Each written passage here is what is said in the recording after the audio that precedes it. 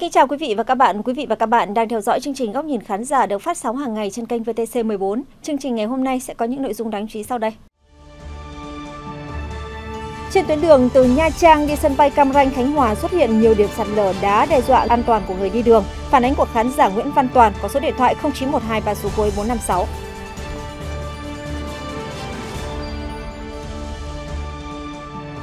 Biển xâm thực sâu vào đất liền, nhiều diện tích đất canh tác của người dân xã Kỳ Nam, thị xã Kỳ Anh, Hà Tĩnh bị đe dọa. Phản ánh của khán giả Trường An có số điện thoại 0989 và số cuối 678.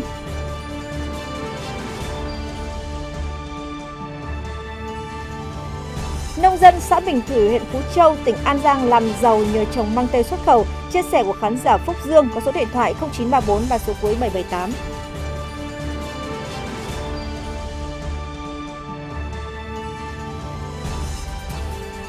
Vị và các bạn, từ nhiều tháng nay thì các phương tiện khi đi từ Nha Trang đi sân bay Cam Ranh Khánh Hòa đoạn qua đèo Cù Hin Khánh Hòa đều cảm thấy rất bất an trước những tảng đá lớn trên vách núi ven đường luôn trong tình trạng trực chờ rơi. Khán giả Nguyễn Văn Toàn có số điện thoại 0912 3 số cuối 456 cho biết rằng càng bất an hơn khi mà mùa mưa của các tỉnh miền Trung đang sắp bắt đầu và nền đất ngấm nước thì có thể khiến cho những tảng đá này lăn xuống bất cứ lúc nào. Rất nhiều tảng đá lớn hiện vẫn nằm tranh vênh trên vách núi. Có nhiều tảng đá, vết nứt rất rộng, dễ dàng nhìn thấy bằng mắt thường, nằm chồng chất lên nhau. Nhiều tảng đá còn nghiêng, lộ hẳn ra, có nguy cơ sẽ rơi, lan xuống đất bất cứ lúc nào, khi bên dưới là tuyến đường có mật độ lưu thông rất đông, mà hầu hết là các xe chở khách du lịch từ Nha Trang đi sân bay Cam Ranh và ngược lại. Tài xế và hành khách đi trên tuyến đường này luôn cảm thấy bất an. Được biết, khi xây dựng tuyến đường này, đơn vị thi công đã cắt đôi nhiều quả núi, tạo ra nhiều vách núi đá gần như thẳng đứng với rất nhiều tảng đá lớn nhỏ. Sau những đợt mưa bão các năm vừa qua, tình trạng đá lăn, sạt lở vách núi liên tục xảy ra đã gây tắc nghẽn giao thông nhiều ngày. Được biết thì sau mỗi mùa mùa mưa lũ thì địa phương đều cử những người có chức năng xử lý những điểm đen nguy hiểm trên tuyến đường này. Tuy nhiên thì cho đến nay, dù đã được các ngành chức năng nhiều lần khắc phục nhưng vẫn còn nhiều tảng đá lớn nứt nẻ nằm tranh vênh trên các vách núi và rình dập người đi đường bên dưới. Vì vậy mà anh Toàn kiến nghị rằng tình trạng này cần được xử lý dứt điểm để người tham gia giao thông trên trục đường này được cảm thấy an toàn hơn. Mưa rông kéo dài trong những ngày vừa qua làm cho hai tuyến đường ở ấp Bờ Sáng và Công Điền thuộc vùng ngoại ô của thành phố Bạc Liêu, tỉnh Bạc Liêu xuất hiện hàng chục điểm sạt lở sâu. Khán giả Nguyên Hoàng có số điện thoại 0362 và số cuối 760 cho biết rằng thực trạng này đang đe dọa an toàn cho người dân địa phương cũng như là những người khi tham gia giao thông.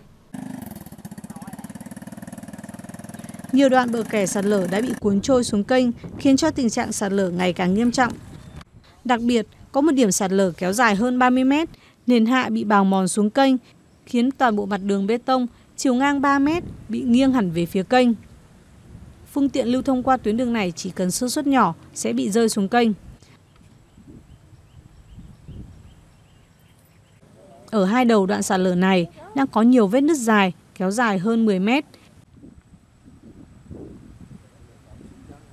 Nếu những ngày tới trời vẫn tiếp tục có mưa, thì khả năng tuyến đường này bị sạt lở hoàn toàn, chia cắt giao thông là rất cao.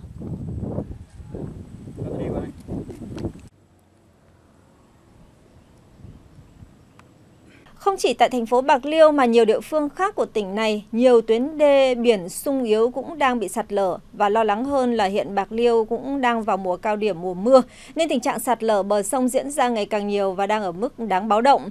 Nhiều hộ dân phải đối mặt với nỗi lo về đất đai và nhà ở có thể bị cuốn trôi bất cứ lúc nào.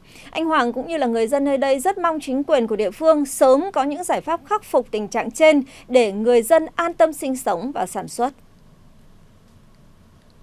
Còn tại Hà Tĩnh, những năm gần đây thì tại xã Kỳ Nam, thị xã Kỳ Anh thì tình trạng nước biển xâm thực đang diễn ra rất phức tạp, đe dọa trực tiếp đến đời sống và sinh kế của người dân.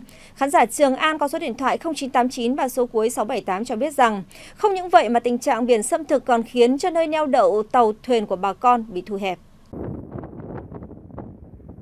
Ngày trước, dọc bờ biển Kỳ Nam, rừng phi lao chắn sóng và trảng cát dài.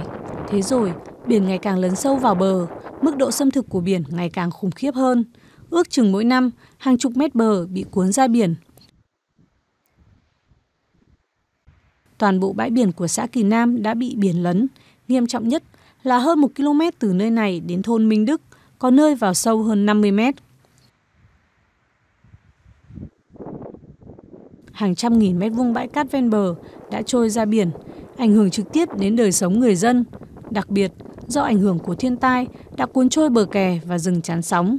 Những năm qua, tình trạng xâm thực, sạt lở bờ biển ở xã Kỳ Nam liên tiếp diễn ra với tốc độ nhanh chóng. Bờ biển ở đây hầu như không còn rừng phòng hộ, sóng biển đánh trực tiếp vào đất liền, tình trạng sạt lở diễn ra nghiêm trọng. Biển ngày càng lấn sâu vào đất liền, nhiều hôm biển nổi sóng dữ dội, nước dâng cao và đổ ầm ầm khiến bà con thấp thỏm lo âu. Bờ biển bị sạt lở, bồi lấp khiến nơi neo đậu tàu thuyền của bà con ngư dân bị thu hẹp, tàu thuyền lớn không thể vào, ảnh hưởng rất lớn đến kế sinh nhai của bà con ngư dân. Còn người dân muốn bờ kè, nạo vét luồng lạch thì xã không đủ lực. Vấn nạn biển xâm thực ở xã Kỳ Nam, thị xã Kỳ Anh của tỉnh Hà Tĩnh đang hiện hữu và dần trở thành nỗi lo thường trực của người dân ven biển. Tuy nhiên thì để khắc phục được thực trạng này là bài toán nan giải bởi quy mô đầu tư quá lớn và trong khi nguồn lực của địa phương không thể đáp ứng. Vì vậy mà đã có hàng chục km chiều dài bờ biển bị cuốn trôi. Hiện tại thì địa phương đã thống kê và có những phương án di rời những hộ dân bị đe dọa cấp bách. Giải pháp lâu dài vẫn là kè bờ, làm đê biển, nhưng kinh phí lại quá lớn. Huyện đã lập tờ trình đến Ủy ban nhân dân tỉnh làm phương án đầu tư và xử lý. Sạt lở đang bổ vây tứ phía và người dân thì sống thấp thỏm ngay trên khu sạt lở bờ biển. Mỗi ngày thì sóng biển lại ngoạm sâu hơn vào đất liền đe dọa đến nhà cửa cũng như tính mạng của người dân.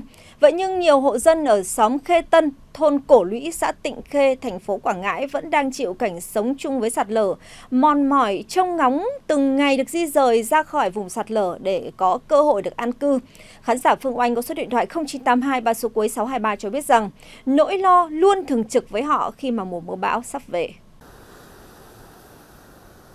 Những hộ dân như gia đình ông Trần Hốt ở thôn Cổ Lũy, xã Tịnh Khê, thành phố Quảng Ngãi chẳng thể sống bình yên trước biển. Chiều cường giờ đã xâm lấn vào tận nhà, khiến ông càng bất an, lo lắng. Một khu đất để tái định cư, thoát cảnh chiều cường vẫn đang là niềm mong mỏi của gia đình ông cùng nhiều hộ dân ở làng Khê Tân này. Còn gia đình bà Phạm Thị Của xóm Khê Tân, xã Tịnh Khê cũng đã phải dựng khu lều này để ở tạm ngay sân vận động của xóm. Gần cả năm nay, ngôi nhà của gia đình bà bị sạt lở đe dọa. Nhiều lần muốn di rời đi nơi khác định cư nhưng chờ hoài vẫn chưa được địa phương bố trí đất.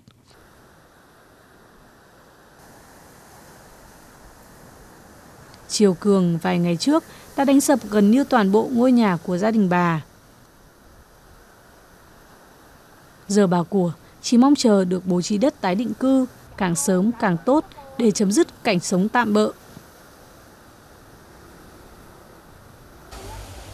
Tình trạng sạt lở ở xóm Khê Tân, thôn Cổ Lũy, xã Tịnh Khê đã kéo dài trong nhiều năm. Riêng trong năm 2012, Chi cục Phát triển Nông thôn Quảng Ngãi đã đầu tư khu tái định cư thực hiện di rời khoảng 30 hộ dân bị sạt lở đến nơi ở an toàn.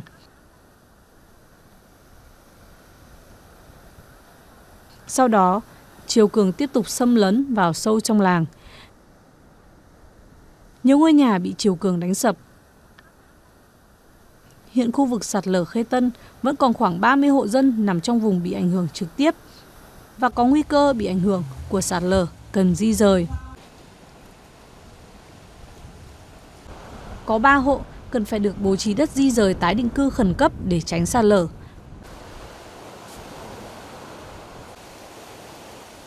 Tuy nhiên đến nay, vẫn chưa có đất tái định cư cho những hộ dân này.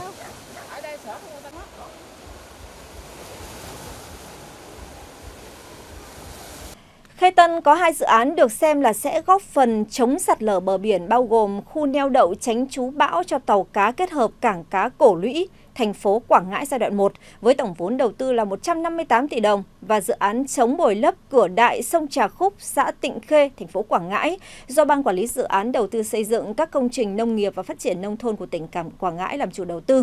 Nhưng hiện thì cả hai dự án chỉ mới đang trong giai đoạn xúc tiến các bước để triển khai nên chưa thể thực hiện được trong năm nay.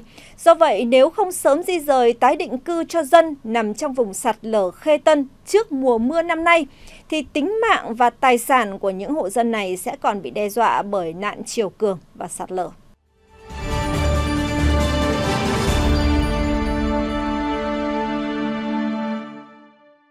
Thưa quý vị và các bạn, mới đây thì chương trình góc nhìn khán giả của chúng tôi có nhận được đơn thư gửi của anh Đồng Văn Tiến trú tại thôn 9 xã Thiên Hương, huyện Thủy Nguyên, Hải Phòng. Trong đơn để gửi đến chương trình này thì khán giả cho biết rằng trên địa bàn thôn 9 có xây dựng một hồ điều hòa xử lý nước thải và theo dự kiến ban đầu thì hồ chỉ rộng là 150 m2. Tuy nhiên thì khi tiến hành xây dựng, hồ được mở rộng ra đến là 300 m2 và lấn vào diện tích đất của gia đình anh Tiến. Đây là diện tích đất của nhà anh Đồng Văn Tiến. Nhận thấy việc xây dựng hồ điều hòa, xử lý nước thải của địa phương là hợp lý, có ích cho cộng đồng nên gia đình anh Tiến đã tình nguyện hiến 105 mét vuông đất để xây dựng. Tuy nhiên, từ diện tích dự kiến ban đầu là 150 mét vuông, đến khi hoàn thiện, hồ này rộng đến 300 mét vuông và lấn vào diện tích nhà anh Tiến thêm khoảng 100 mét vuông nữa –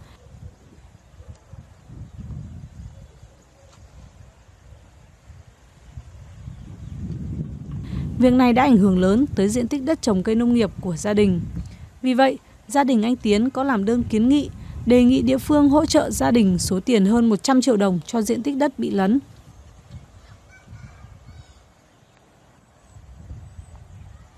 Hiện thì việc xây dựng hồ điều hòa đã hoàn tất và đơn thư của gia đình anh Tiến cũng đã gửi lên địa phương. Tuy nhiên thì qua nhiều cuộc họp địa phương đều cho rằng diện tích hồ lấn vào không ảnh hưởng tới đất của bất cứ cá nhân nào mà đó là diện tích đất chung. Để có cái nhìn hai chiều về vấn đề mà khán giả Đồng Văn Tiến nêu trong đơn thư, góc nhìn khán giả sẽ có công văn gửi đến Ủy ban Nhân dân xã Thiên Hương đề nghị làm rõ. Thông tin phản hồi, mời quý vị và các bạn cùng theo dõi trong những chương trình tiếp theo. Trong thời gian vừa qua thì nhiều nông dân xã Quảng Khê, huyện Đắk Rông của tỉnh Đắk Nông đã phát triển nghề trồng dâu nuôi tầm và theo chia sẻ của khán giả Minh Vương có số điện thoại 0971 ba số cuối 326 thì với kỹ thuật nuôi mới cùng với đầu ra ổn định nên mô hình đã mang lại hiệu quả kinh tế cao cho nông dân, đặc biệt là các hộ đồng bào dân tộc thiểu số trên địa bàn. Ngoài trồng cà phê thì 3 năm nay, gia đình anh Cờ Hoa ở xã Quảng Khê, huyện Đắk Cờ Long còn tận dụng thêm công nhàn rỗi phát triển nghề trồng dâu nuôi tầm. Trung bình mỗi đợt anh nuôi được 6 hộp trứng tằm. Khoảng 15 đến 18 ngày là thu hoạch kén. Mỗi hộp cho thu khoảng 50 kg kén. Và sau đó tiếp tục nuôi gối đầu lứa tiếp theo. Sản xuất nông nghiệp nếu làm cà phê lấy công với giá bán khoảng 100.000 đồng một kg kén như hiện nay. Sau khi trừ chi phí, cũng đem lại nguồn thu nhập đáng kể cho gia đình. Được biết, nuôi tằm giờ thuận lợi hơn vì tằm được nuôi dưới nền xi măng. Việc cho ăn thay phân rất nhanh, tiết kiệm công chăm sóc. Sau khi được tuyên truyền và hướng dẫn, từ đầu năm 2019 đến nay, gia đình chị Lôi Thị Đẹp cùng ở xã Quảng Khê, huyện Đắk Long cũng chuyển đổi hai xào cà phê sang trồng dâu nuôi tằm. Chị cho biết, kỹ thuật trồng dâu nuôi tằm cũng đơn giản, nếu có đất trồng dâu nuôi tằm thì hiệu quả kinh tế cao hơn so với trồng cà phê, tiêu. Gia đình chị đất ít nên mỗi đợt chỉ nuôi được một hộp. Sau 15 ngày thu được khoảng 50 kg kén. Mỗi tháng nuôi được hai hộp, trừ chi phí cũng còn được 7 đến 8 triệu đồng.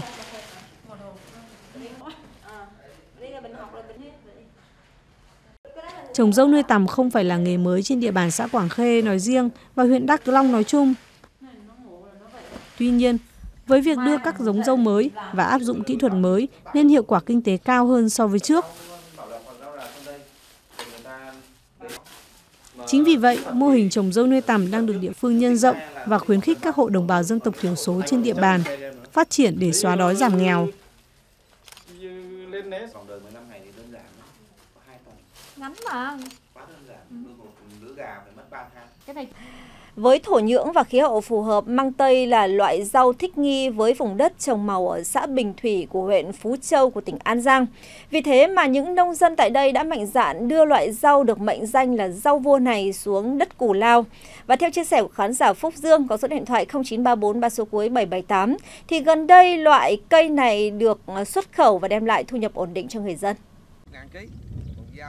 Giữa năm 2018, hộ nông dân Kiều Minh Thành ở ấp Bình Thới, xã Bình Thủy, huyện Châu Phú, tỉnh An Giang đã đầu tư trồng 800 m2 hạt giống nhập khẩu từ Hà Lan. Sau 6 tháng trồng, măng tây đã phát triển tốt và cho năng suất. Vụ đầu tiên trong 4 tháng thu hoạch được sản lượng 1,4 tấn với giá bán 40.000 đồng một kg, ký hợp đồng bao tiêu với công ty Gap Food Cần Thơ. Khoảng một năm chăm sóc, thu hoạch loại rau màu giống mới, anh Kiều Minh Thành đã thu lại vốn đầu tư ban đầu.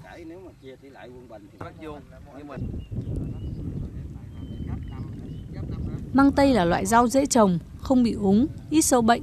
Với quy trình xử lý phân hữu cơ, hệ thống tưới nước nhỏ giọt nên bụi cây nhanh chóng phát triển và đẻ nhiều măng con. Một năm có thể thu hoạch 3 lần, mỗi lần 3 tháng, hái liên tục, sau đó để một tháng cây nghỉ dưỡng. Nói chung ờ, cây măng tây thì nó nó nó rất dễ. Với nó có cái lợi thế là mình xuống giống ờ, một đợt một mà có thể mình ăn tới 8 9 10 năm là nó ít xịt ờ, sọt lắm. Chủ yếu là xài ba cái chiết sức cây thảo mộc được không à.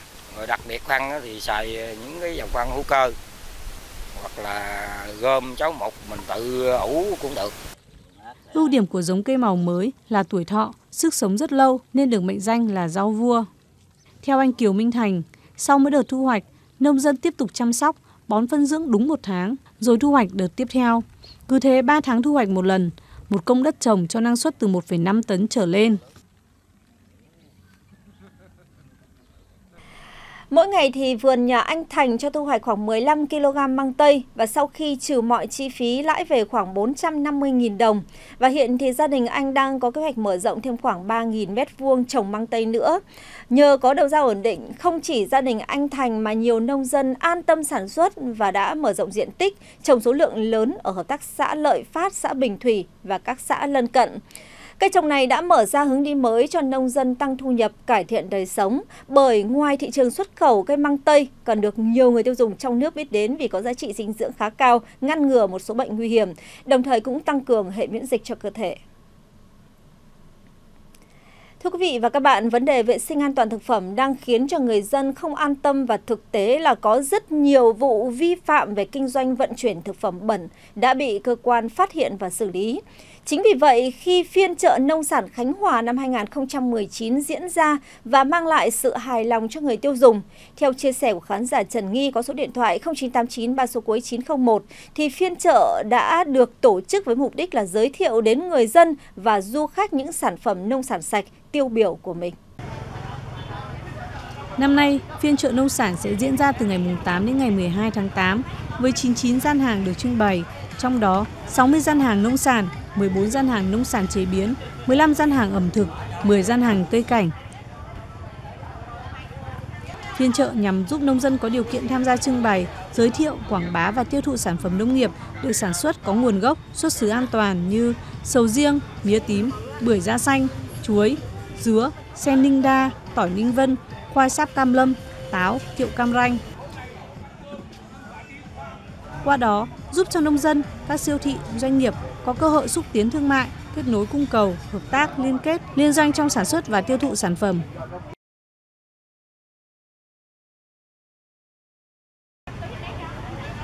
Ngoài các gian hàng trưng bày nông sản, phiên chợ còn trưng bày, giới thiệu và cung ứng các sản phẩm công nghệ sinh học, cây cảnh, nông nghiệp công nghệ cao, vật tư nông nghiệp, phục vụ sản xuất có chất lượng và giá trị ứng dụng cao của các doanh nghiệp, đơn vị uy tín. Đặc biệt, đến với phiên chợ, du khách còn có cơ hội tìm hiểu những sản phẩm của làng nghề truyền thống và thưởng thức nhiều món ăn mang đậm bản sắc văn hóa địa phương.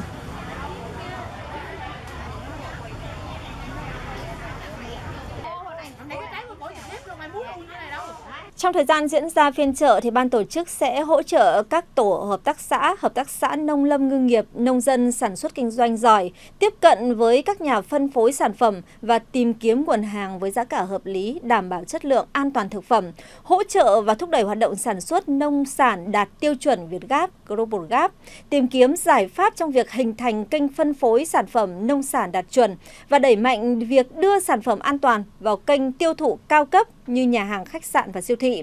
Qua đó thì thúc đẩy sản xuất nông nghiệp phát triển theo hướng an toàn bền vững, góp phần chuyển dịch cơ cấu kinh tế nông nghiệp các địa phương, đồng thời cũng giúp giúp cho người tiêu dùng nhận biết được nguồn gốc sản phẩm khi sử dụng.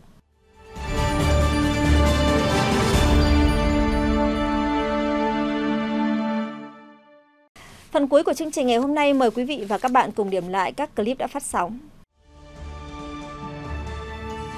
Nhiều tháng nay, các phương tiện khi từ Nha Trang đi sân bay Cam Ranh qua đèo Cù Hin, Khánh Hòa đều cảm thấy bất an trước các tảng đá lớn trên vách núi ven đường luôn trong tình trạng trực chờ rơi. Càng bất an hơn khi mùa mưa của các tỉnh miền Trung đang sắp bắt đầu, nền đất ngấm nước có thể khiến những tảng đá này lăn xuống đất bất cứ lúc nào. Phản ánh của khán giả Nguyễn Văn Toàn có số điện thoại 0912 3 số cuối 456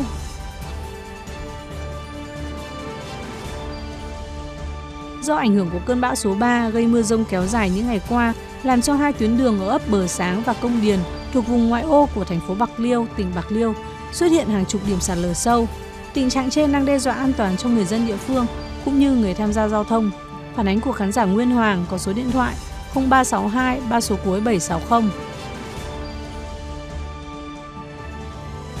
Những năm gần đây, tại xã Kỳ Nam, thị xã Kỳ Anh, Hà Tĩnh, tình trạng nước biển xâm thực diễn ra rất phức tạp, đe dọa trực tiếp đến đời sống, sinh kế của người dân. Phản ánh của khán giả Trường An có số điện thoại 0989 3 số cuối 678.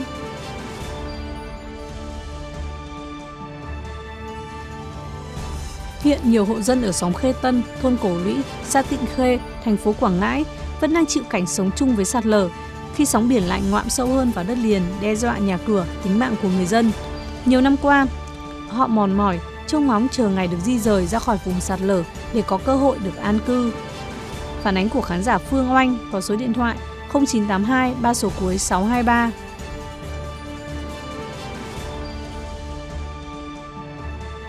Trên địa bàn thôn 9, xã Thiên Hương, huyện Thủy Nguyên, Hải Phòng có xây dựng một hồ điều hòa xử lý nước thải. Theo dự kiến ban đầu, hồ chỉ rộng 150 m2. Tuy nhiên khi tiến hành xây dựng, hồ được mở rộng ra đến 300 m2 và lấn vào diện tích đất của nhà dân. Người dân đã làm đơn kiến nghị gửi đến địa phương yêu cầu hỗ trợ kinh phí với diện tích đã bị lấn nhưng không được đáp ứng. Phản ánh của khán giả Đồng Văn Tiến, trú tại Thủy Nguyên, Hải Phòng.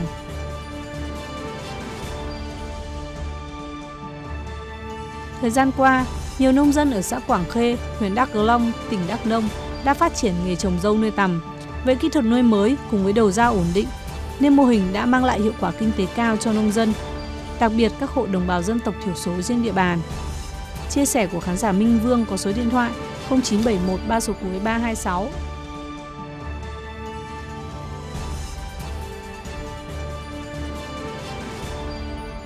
Với thổ nhưỡng và khí hậu phù hợp, măng tây là loại rau thích nghi với vùng đất trồng màu ở xã Bình Thủy của huyện Phú Châu, tỉnh An Giang.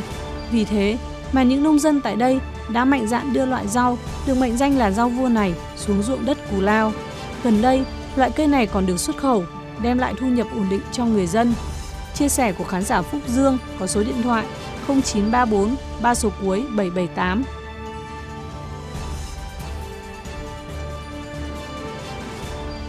Trước thực trạng vệ sinh an toàn thực phẩm đang khiến cho người dân không an tâm. Chính vì vậy, khi phiên chợ nông sản Khánh Hòa năm 2019 diễn ra và mang lại sự hài lòng cho người tiêu dùng. Ngoài ra, phiên chợ cũng giúp cho nông dân doanh nghiệp có cơ hội xúc tiến thương mại, kết nối cung cầu, liên kết liên doanh trong sản xuất và tiêu thụ sản phẩm. Chia sẻ của khán giả Trần Nghi có số điện thoại 0989 3 số cuối 914.